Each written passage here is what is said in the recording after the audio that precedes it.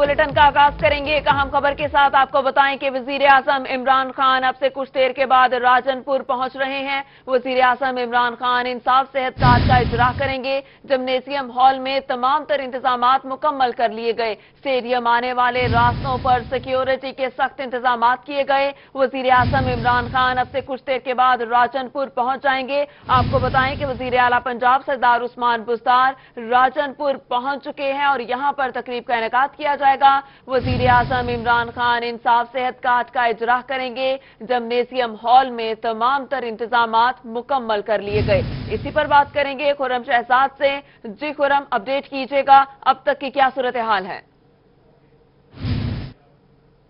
جی بالکل، اب سے کچھ دیر بعد جو ہے وزیر اعظم پاکستان عمران خان راجن پور جمنیزیم ہال میں پہنچ جائیں گے۔ ان کی آمد کے سلسلے میں یہاں پر اس وقت سیکیورٹی ہائی الرٹ کر دی گئی ہے۔ جن لوگوں کو جمنیزیم ہال کے اندر جانے کے پاسز جاری کیے گئے تھے، ان کو پانچ مختلف مقامات پر جامع تلاشی کے بعد ہی اندر جانے کی اجازت دی جا رہی ہے۔ اس کے علاوہ واک تھرو گیٹس اور سی سی ٹی وی کیمروں کی مدد سے بھی نگرانی کی جا رہی ہے، جبکہ وقفے وقفے سے سراغ رسا کتوں کی مدد سے بھی یہاں پر سرچنگ سویپنگ کا عمل جاری ہے۔ مہمانوں کی آمد کا سلسلہ بھی جاری ہو چکا ہے۔ مقامی نمائندے سردار اویس خان دریشک فاروق امان اللہ خان دریشک سمیت جو ہے مشیر صحت حنیف پتافی اس وقت پنڈال کے اندر پہنچ چکے ہیں۔ جبکہ وزیر اعلیٰ پنجاب سردار عثمان بزدار کے ساتھ کے ساتھ deputy speaker Punjab assembly Mir Dost Muhammad Mazari اور وزیر صحت ڈاکٹر یاسمین راشد بھی ان کے ہمراہ ہوں گے۔ آج راجن پور میں وزیر اعظم عمران خان صحت کارڈ کے اجرا کا افتتاح کریں گے اور راجن پور کی عوام کو جو ہے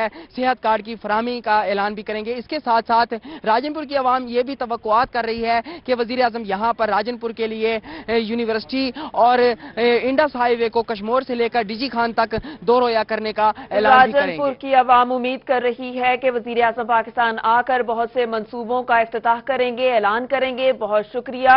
خورم شہزاد بھٹا اپڈیٹ کرنے کے لیے۔